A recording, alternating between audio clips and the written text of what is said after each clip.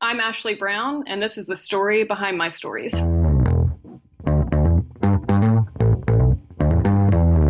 You're listening to the Author Stories Podcast, bringing you the story behind the stories and the storytellers. Margaret White, Terry Brooks, Sheena Kamal, Matthew Quick, JT Ellison, Walt D. Williams, Brad Thor, Cory Doctorow, Brandon Sanderson, Robin Mom, Ernest Cline, Jim Butcher, Sherwin Harris. Visit hankgarner.com for archives of all the shows. Today's guest is Ashley Brown.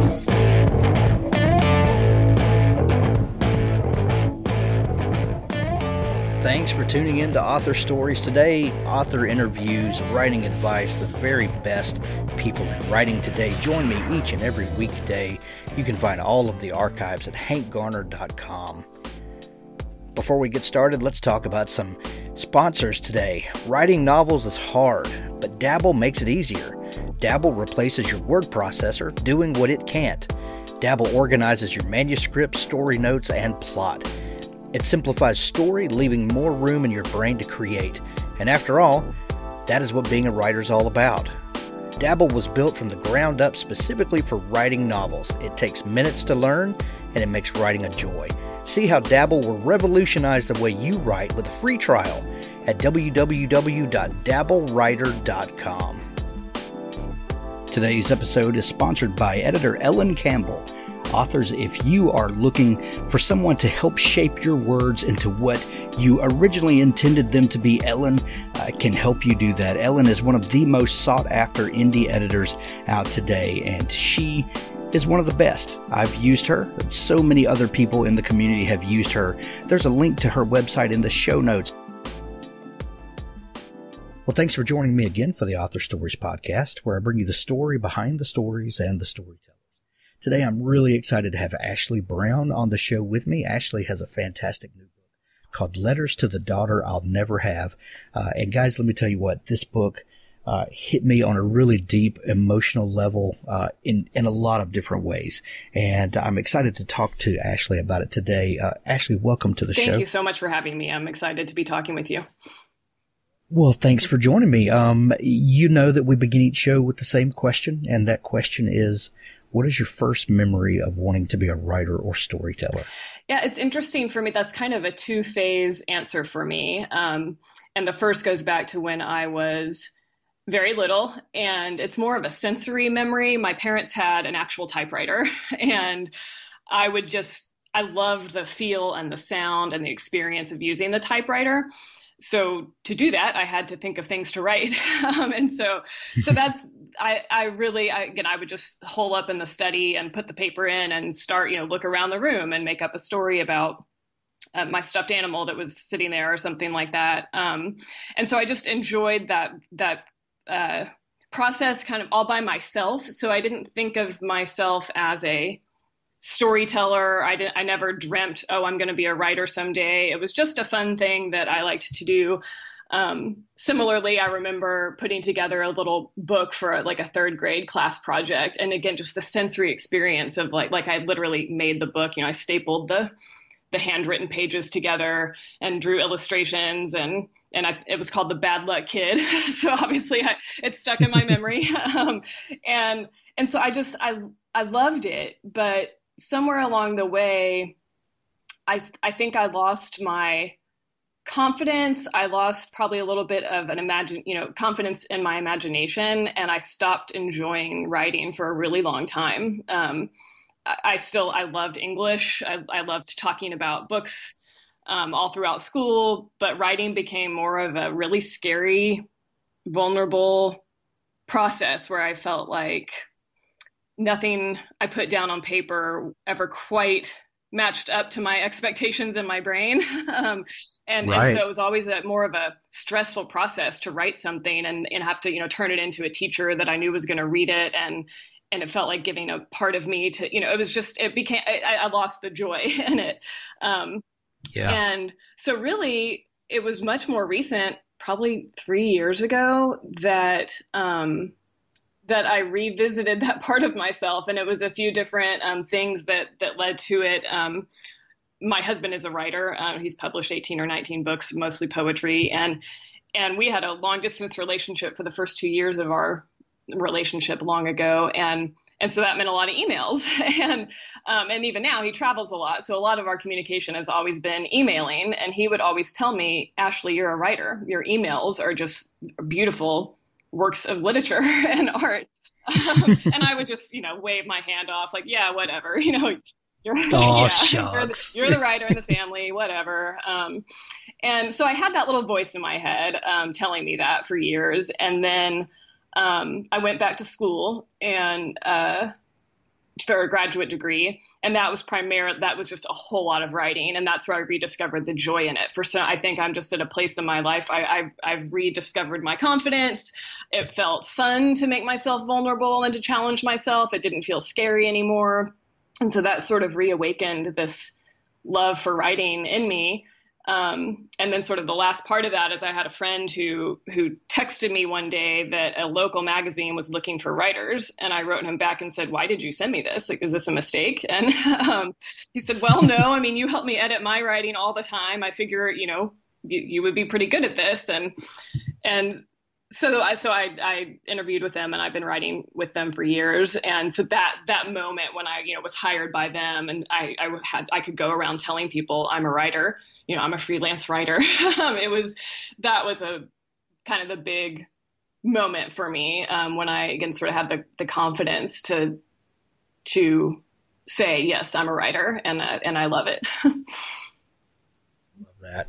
Um, my friend Dave Rudden, uh, who writes middle grade books and young teen books, uh, does a lot of uh, school, um, you know, workshops with kids and, and things like that. And um, he said that if you ask, uh, you know, a, like a seven to nine year old kid, or if you tell them, you know, you can be a writer, they'll say, of course I can. I've written 15 books uh-huh. already.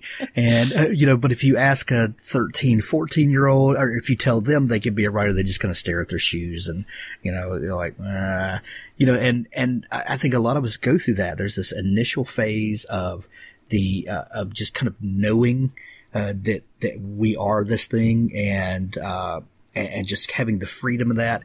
Uh, and then a lot of times we lose the joy in. And, and for a lot of us, it takes a lot of years to get back to that.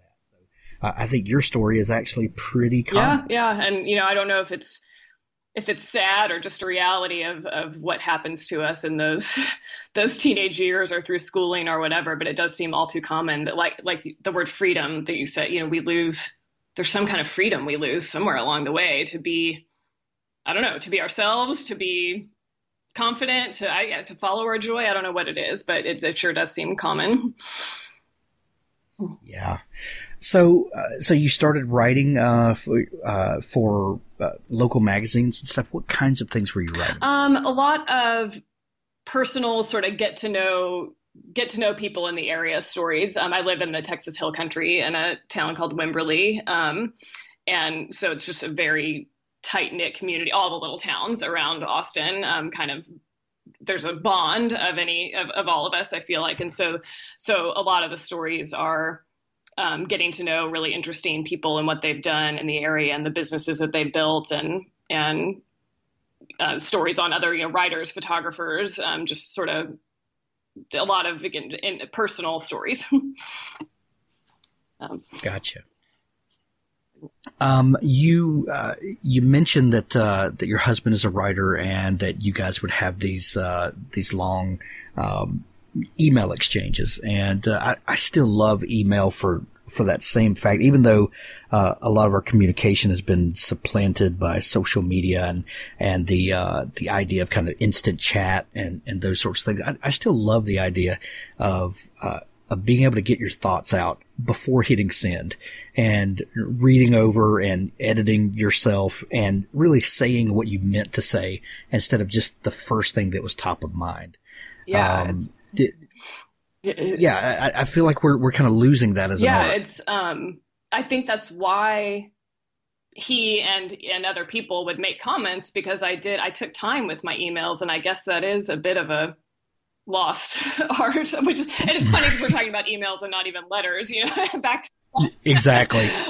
We don't even have time to write an e- you know type up an email. but, um, and and to be honest, you know, I love actual. I mean, you know, ironically given the name of my book, but I have always loved letter writing. Um, and again, taking that time. And I, honestly, I did a lot of that for myself in those years. Uh, probably digressing, but in those years when I sort of when I say I lost the joy in writing or the confidence and didn't like doing it for other people, um, I continued to always keep massive journals and diaries for myself and uh, and and a lot of that included you know kind of letters letters to god letters to people that i had a crush on that i was never going to share with you know i was never going to share it but but it felt so good to just take the time to get my thoughts down on paper um, especially directed to somebody else and so so yeah eventually that became emails and and yeah i think it's it's for me it's a, it's just a really I can get lost in writing an email to a friend and spend an hour on it, and that's that's fun and is a lot more meaningful than you know than some text exchanges. Um, I feel like, yeah, it's it's taking the time to say, you know, I I care about you enough and think about you enough, and I want to share my thoughts with you, and so I'm gonna, you know, actually expound and, and use proper grammar to an extent and um, it's yeah it, it's fun and and and well i was I was hoping you would you would come around to uh, to talking about journaling. I, I, had a feeling that you were a, a journaler and someone who wrote um, letters, uh, even ones that, that never got sent, or you know, for for people as a as a cathartic thing for mm-hmm. yourself. Um, because in your book, "Letters to the Daughter I'll Never Have," uh, this is this is a uh, a really fascinating journey. Um, and I, I, felt like this was not just something you sat down to do as a particular project, but this was an extension of kind of your creative process that was already in place, or uh, maybe your, uh, you know, your way that that you deal with things. Um, tell us a little bit about um, where this book came from and the the, the really interesting subject matter that kind of jumps at us as, as soon as we see the cover. where did this book come from? Why did you write these? And, and give us a little bit of the background on, on, on your feelings about the situation just in general. Um, yeah, I mean, you're exactly right in that this came out of my need to express my feelings, not to write a book, um, not, you know, not, I really had to yeah. do this um, to get to get my personal feelings down on paper. And it's and it came to me um, through sort of a series of conversations with my husband and even my therapist actually um, in in these years as I was trying to decide um, whether or not to have children. And I'm a really indecisive person in general um, about everything, um, the smallest things to the biggest things. It's all the same process for me, and um, and my husband can be similar and he he has a grown daughter. Um, she's 22 now so he has been a parent. And so we were we were both very much on the same page and sort of sharing all the same you know pros and cons and um, reasons that we really wanted to have a child together and reasons that we really didn't. Uh, but it's still in the end i mean basically he he would he would be open to it if i said i wanted to do it. And and it, we so I, I say my decision because again, we're kind of coming at it from two different places. He has again, he has been a parent and I have not. Um, so it's a bit of an individual journey, even though we're making the decision together. Um, so I felt like it was kind of on my shoulders, and I had so many contradictory feelings about it. Um, and and I, I also I also have found recent in recent years of my life that ceremony and rituals are, are, things that are important to me um, in terms of recognizing, you know, the joys in life and the losses in life, um, and any any sort of meaningful, uh, you know, change in life. I feel like it it it is better accepted. I have more peace with it, whether it's a good or bad thing. If I sort, if I do some kind of something to honor what, whatever it is, um, and so with that sort of personality trait, um, I realized that I had to do something, some kind of ceremony, in order to to have peace with what seemed to be a decision I was making. You know, time kept going by and I wasn't ready to be a parent. So it seemed like I was probably saying I'm not going to. Um, and it just struck me the only way I'm going to feel okay about that is to talk directly to my imaginary daughter. She's the one I want to I want to experience being her mom um, in this ceremony and in this fantasy way, so that I can really recognize all my feelings surrounding it and really be honest about them and see how I feel at the end of it. Um, so that's where that's where that came from. the the title of the book is Letters to the Daughter I'll Never Have. Uh, this is uh, I, have seen some other books similar to this, and and, and I'm using similar in a, in a very loose way. Um, this is a really unique book, but um, uh, you know, we, we've heard stories from people that were not able to have children for one reason or another. And then, you know, kind of living out the fantasy of what that might be. And maybe fantasy is not the correct word. I apologize. Uh, but th- just the, the working through the emotions of that.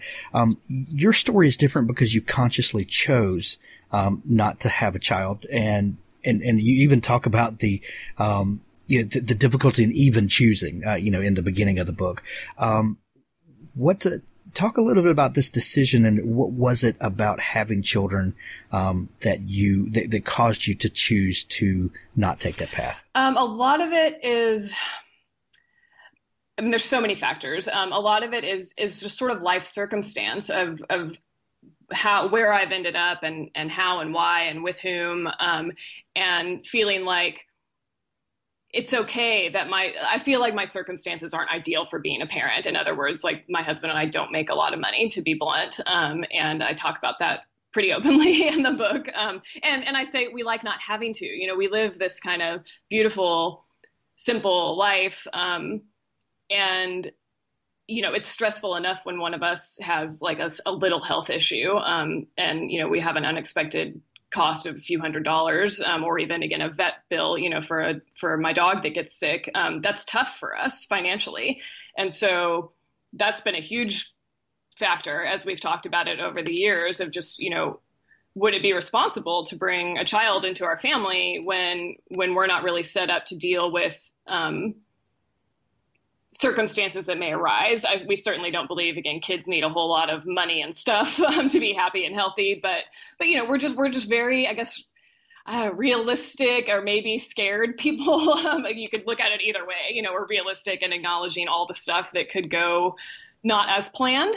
Um, some people might say, well, again, that's ridiculous. Nothing ever goes as planned. You guys, you're just, you know, you're living in fear, however you want to paint it. Um, but that that's been a big again, just sort of it's the reality of, of our lives. Um, and we don't want to get jobs we hate and to just to make money to so that we can, you know, be provide better for a child. Um, uh, similarly, you know, just again, all the stresses that it would add uh, to our relationship. Um, I, you know, I don't know that I have some of the innate uh, skills or traits required in a parent. Again, I think I'd be great, but I think I, as a mom, because I am, I am a loving, caring, nurturing person.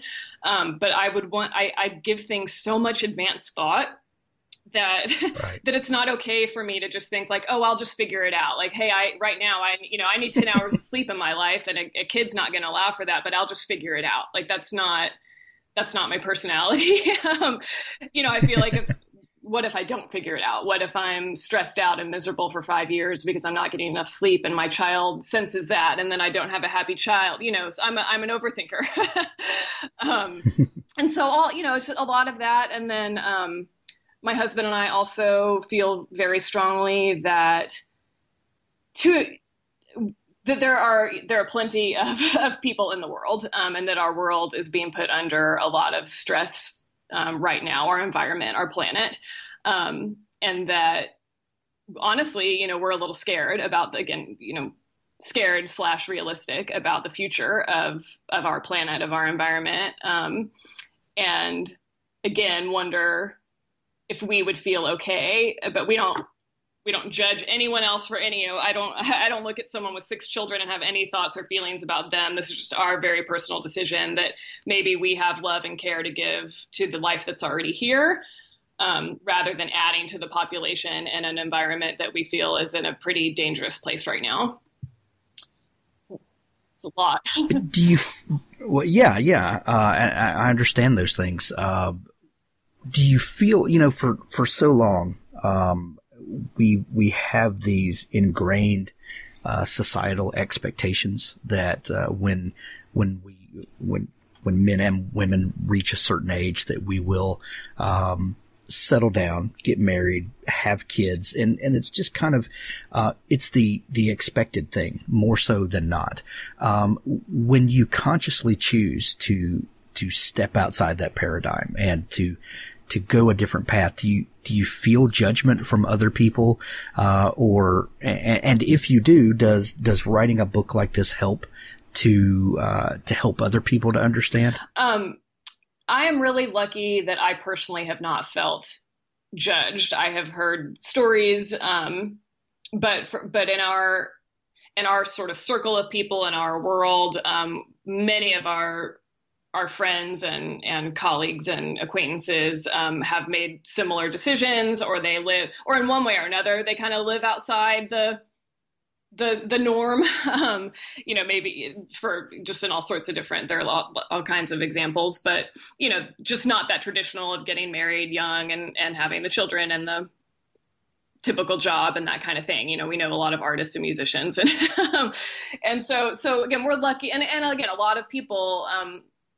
a lot of my closest friends have have made the decision as well not to have children. So I I I have not felt judged by anyone that I know. Um, sure, I've gotten a little bit. You know, I'll, I'll have I, I I get this the sort of head cock from moms who like oh kind of like I feel sorry for you because you'll never you know you'll never understand the the joy of being a, like your like your existence will not be um, quite what it could be or should be because you're missing out on this mothering thing. Um, so I felt a little bit of that, whether I invented it or not. I've I've felt that coming from moms. Um, and and in writing the book to answer the second part of your question, I. I, I feel like I wrote it and, and decided to make it public, you know, to publish it. Um, a lot less to deal with me feeling judged and a lot more um, to maybe help other women who have been where you know i said i'm lucky and i haven't been um, but i have again heard a lot of stories of women in their their 20s and i think it might even be harder. I'm 39 and so it's not again my life circumstances are a little bit different. It's not as quote weird maybe that i'm making the decision because I, I, I you know I'm, it's a little late in life for me. Um, so there are further risks, and my husband is older as well. I think it's a lot harder maybe for a woman who's in her 20s and happily married and is, is struggling with the decision to maybe not be a parent. And I, I've heard that, you know, again, from friends of friends that there are a lot of younger women out there who are having a hard time you know what's wrong with me that i maybe don't want to do that and and is that okay um, and so i felt like maybe this could be a little bit of a bridge and a you know comfort to others. Um, and again just a conversation starter you know a way to to inspire finding what we all have in common and how you know ways we can love the family that we create whatever that family is and understand one another um, rather than worrying about the family that somebody else has chosen to have and what that looks like and why. And maybe not judging. It, right right um, in the book, you deal with uh, you write letters to your uh, to your daughter from uh, from when when she's uh, a, a, newborn baby all the way through um, some different stages of maturity uh, and different uh, life experiences that she would have. some of them kind of mm-hmm. funny, and you know the the way that we look at you know just the the the crazy things that happen along the way and and uh, the humor that we can find in that. Uh, but some are very very serious and very um, almost painful to read. Uh, just like life is sometimes painful mm-hmm. to watch. Um, how do you, uh, when you're putting together a collection like this, how do you choose the the life events? How do you choose the uh, the topics that are important to you that you really want to work through? Um, uh, yeah, how, how does putting a, a, collection like this together yeah, work? Um, it's a great question, and I don't know if I have a great answer. It, a lot of it just it just came to me. I had no master plan um, whatsoever. Um, I had in mind that that I wanted to because I kind of wanted to experience this uh, to experience the feelings of motherhood authentically. Um, and that was part you know every time i sat down to write a letter i really wanted to live as as a mom of of my little girl who then did grow up. And so so in my mind it made sense to move through her life chronologically. So that that was you know that was the, always in my head. Um, i didn't necessarily write them. I'm trying to think and I guess I did. I guess I kind of did write them in that order. So if there's anything age, you know, related, I I wrote the ones about you know her first birthday, um, her 16th birthday. You know, I, I I, wrote those in order. Um, and the others really, I would just be driving along and and I would think, oh, I want to write to her about that. Um, you know, whether it's again food food memories from my childhood, and then you know thinking because that that food is a big deal, and what would I what would I feed my daughter, and how would we work out me being a vegetarian, and um, so they, it just it all came to me very organically. Um, and if I had an idea, I would just jot it down or put a reminder on my phone. And next time I sat down to write, you know, that's that's the letter I wrote while it was while I was excited about it. Um, and then some of them, um, you know, some, some, like even the first one where I, I I opened the book by trying to explain to her why I'm not having her. That felt necessary, but it was really more challenging um, to try to put all that into into words although of course that's essentially what the entire book is an effort to do um, is you know to come to terms with why i'm not having her but to try to tell her sort of as this baby self um, why I wasn't. That there were some ideas that were like okay I'm going to have to tackle that one. That just seems like it it needs to be discussed but it was a little more challenging to do so. So um, again for the most part they're all just things that over the span of six months or seven months or eight months just like I want to talk to her about that. I've got to talk to her about that uh, at the at the end, uh, when you had finished the the series of letters and and you felt good about the um, uh, the, the, the coverage that you had given it and the the topics that you wanted to talk about, um, how did you feel uh, at the end of it? Uh, and we'll talk in a minute about about what you hope that other people get from the book. But but how did this affect you? And did you get the the feelings of of closure. Maybe closure is not the right word, but the uh, the feelings that you had dealt with these uh, these kind of uh, stranded feelings about the situation when you finished this.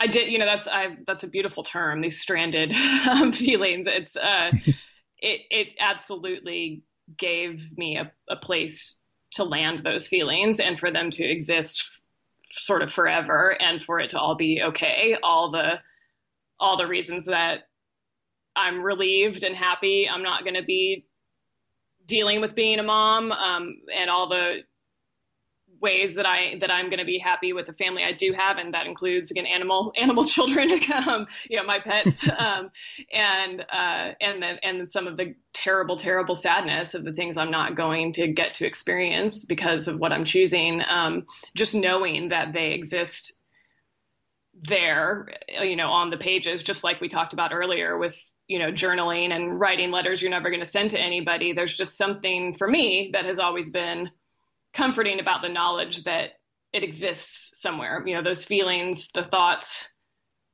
are, are safe um, in, in that place. And so the process was extremely helpful to me. I loved, loved every minute of it. And that's, again, part of what why why I still feel comfortable saying I'm a writer, which sometimes I'm still I'm a little too I don't know if meek is the word, but I, I still have trouble with that. And I'm like, yeah, okay, I've published a book, I'm a writer. Um, uh, but but for me again that's something kind of big and grand um, but the, the reason that i feel comfortable saying that is because of the joy that i felt every time i sat down to do the, the work of the writing um, it was right. even well, the set and, and yeah, if you're sorry, if, no, I'm I'm sorry, but uh, if you're producing meaningful stuff, um, I think that's kind of a natural reaction that um, that sometimes the the work is bigger than us, and it's and it's and it uh, you know comes from places that we can't always put our finger on, and uh, that kind of sense of, of humility in you know that uh, in offering this thing to the world. Um,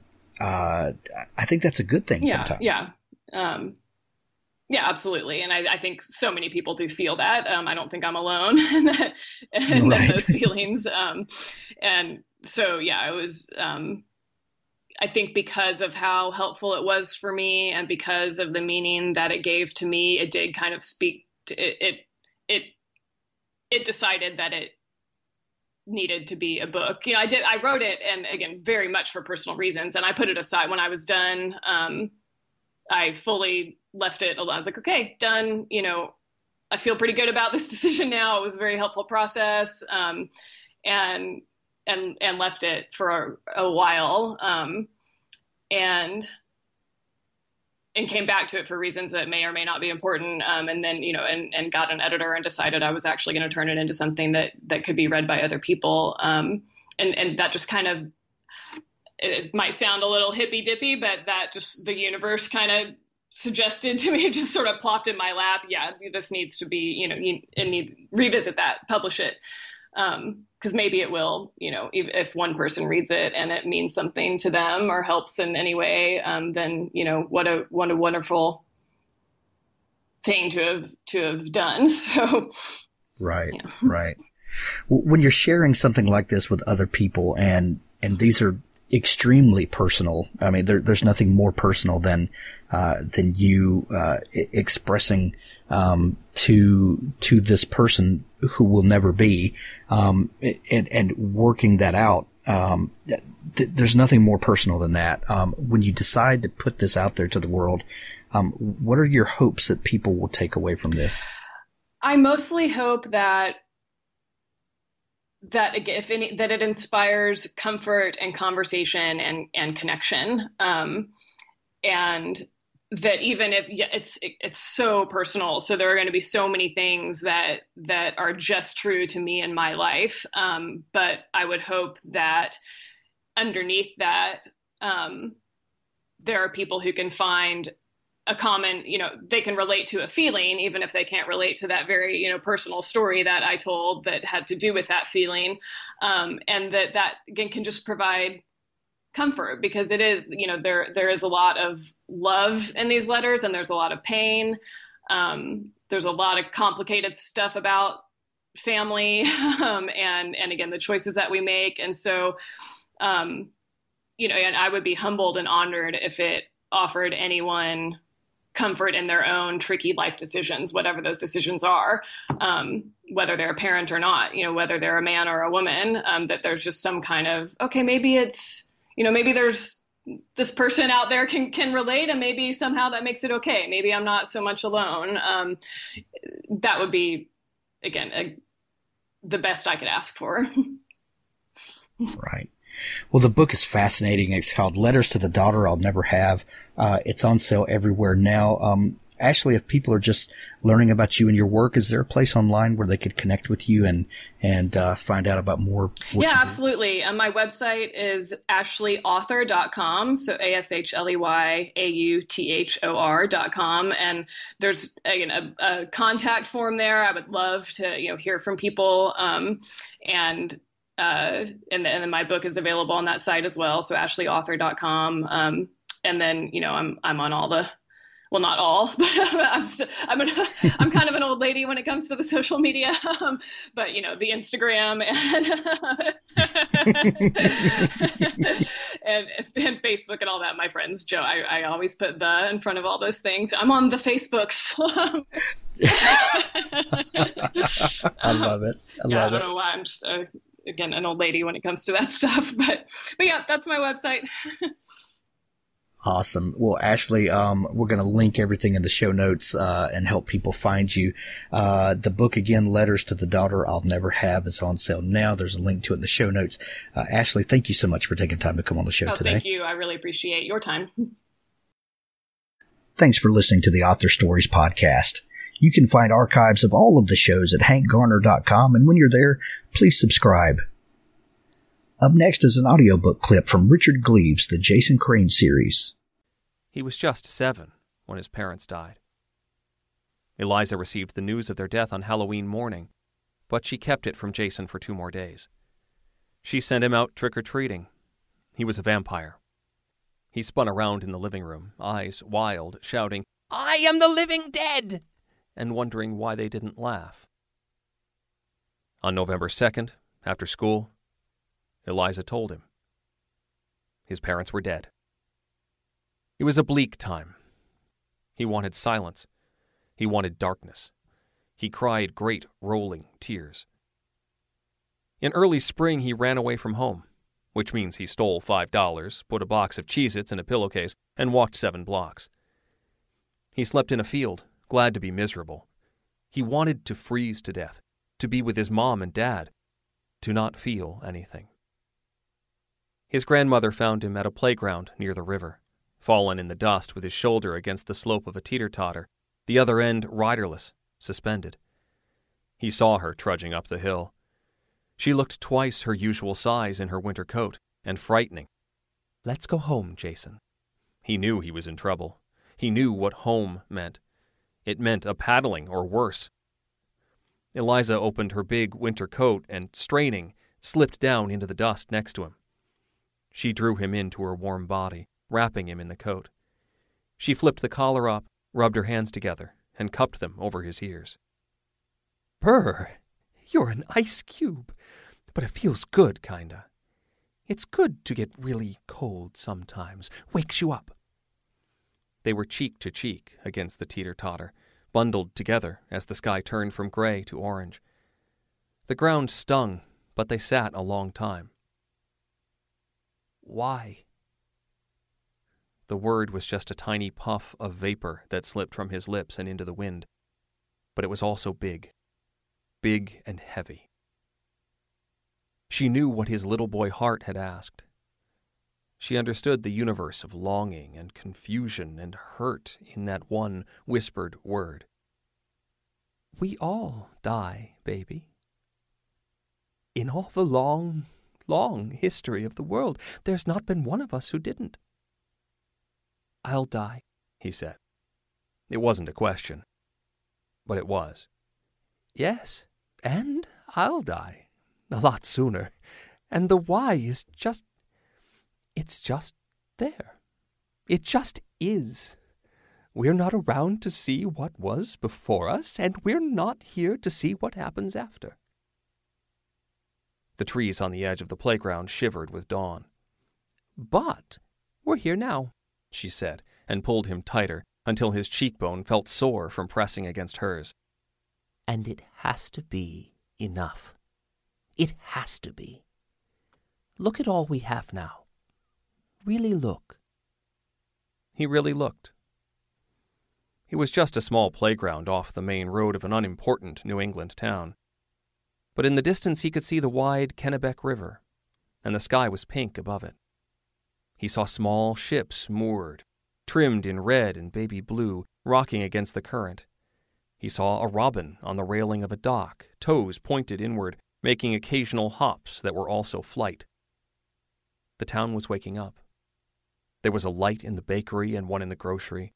There was an empty can of beer on a picnic table and wildflowers by the road. There was wind and trees swaying gently. There was his own breath in his own lungs. There was his grandmother, her body, her heartbeat against his back as he leaned against her chest. There was his own life and hers, and a world to live them in. And it was enough.